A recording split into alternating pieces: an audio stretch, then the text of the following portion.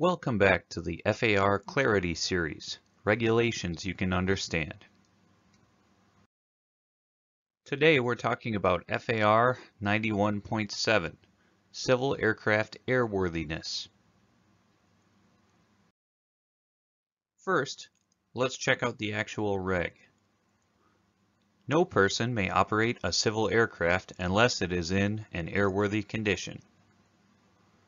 The pilot in command of a civil aircraft is responsible for determining whether that aircraft is in condition for safe flight.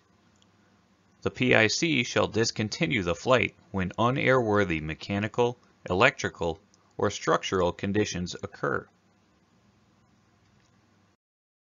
So what does it mean when we say an aircraft is airworthy? The FAA defines this term as meaning that the aircraft conforms to its type design and is in a condition for safe operation.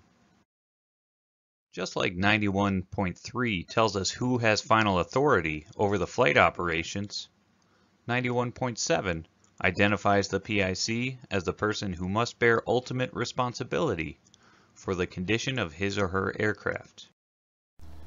There's no excuse for taking off in an unairworthy aircraft, and the PIC is never absolved of this responsibility.